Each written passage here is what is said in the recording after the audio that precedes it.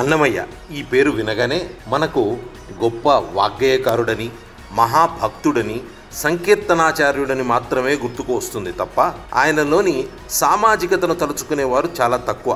ఆయన పదాలను విశ్లేషించి చూస్తే అన్నమయ్య అసలైన సామాజిక కవి అనే విషయం తేటతెల్లమవుతుంది. ఎందుకంటే ఆ కాలంలో మిగిలిన వాళ్ళు భక్తి మార్గంలో అత్యంత కఠినమైన నిగూఢమైన సామాన్యులకు అర్థం కానట్లు చెప్పే విషయాలను ఆయన అత్యంత సులభంగా అపారమైన విషయాన్ని చిన్న సూత్రంలో చెప్పినట్టుగా చెప్పాడు.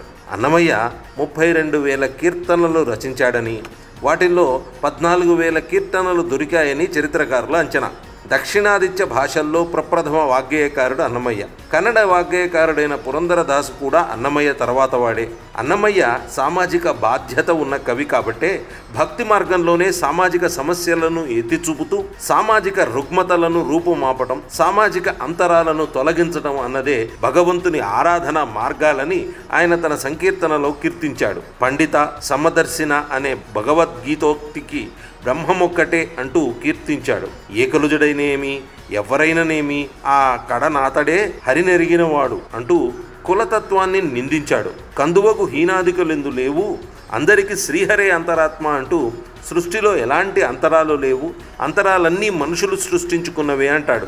చేరి యశోదకు శిశువితడు ధారుని బ్రహ్మకు తండ్రియునితడు అన్న సంకీర్తనలో భగవంతుడు గొప్పవాళ్ళకు గొప్పగా తక్కువ వాళ్ళకు తక్కువగా ఉండడు అందుకు వ్యతిరేకం కూడా ఉండవచ్చు. అందుకని ఎవరు గొప్ప ఎవరు తక్కువ అన్నది నిర్ణయించే హక్కు మనుషులకు లేదని చాటాడు అన్నమయ్య. యశోద సామాన్యమైన స్త్రీ ఆమెకు భగవంతుడు కొడుకు. తల్లి కన్నా కొడుకు మించినవాడు కాడు అంటే భగవంతుడు సామాన్య స్త్రీ కన్నా మించినవాడు కాడు. దాని అర్థం అవసరమైతే సామాన్యులైన భక్తుల కన్నా కూడా తగ్గి ఉండగలడు.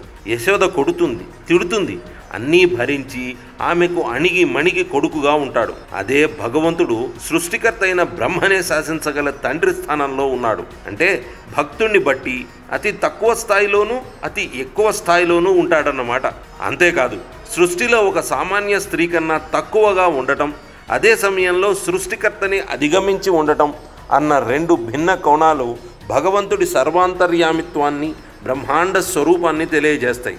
ఇంత అద్భుతంగా భగవంతుడి అనంతమైన తత్వాన్ని ఆవిష్కరించిన అన్నమయ్య భక్తి తత్వాన్ని సామాజిక తత్వాన్ని ఆకళింపు చేసుకుని ఆచరణలో పెట్టగలిగితే మంచి సమాజాన్ని తీర్చిదిద్దగలం.